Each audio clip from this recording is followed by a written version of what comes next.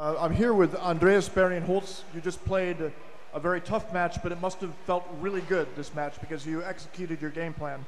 Yes, it was very fun. Uh, it's a tough, very tough game, and uh, we didn't know how the outcome would be. So we are very happy about the score, 4-1. They were trying to draw you to the surface in order to pass around and then dive back to the goal. But you had talked about this before the match? Yes, of course we have. We know their game plan. They are very strong and techniques players in the surface, especially. So uh, we said not too much surface uh, fighting and uh, try to be uh, aggressive and uh, fast on the bottom. This gives you some security now in the standings for the season because everybody now is worried about being pushed down to the bottom, and you've got a, an important victory here. Yes, we have. We have. That was uh, very nice.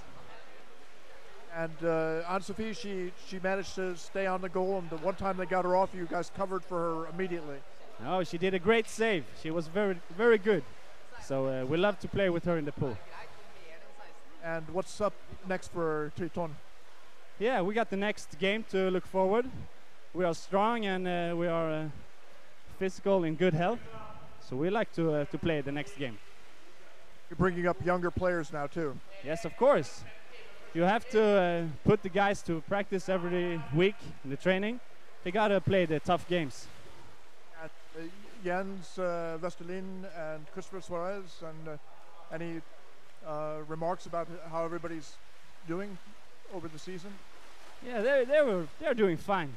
They are good players. So they have played for many years, so they, they know they know the game.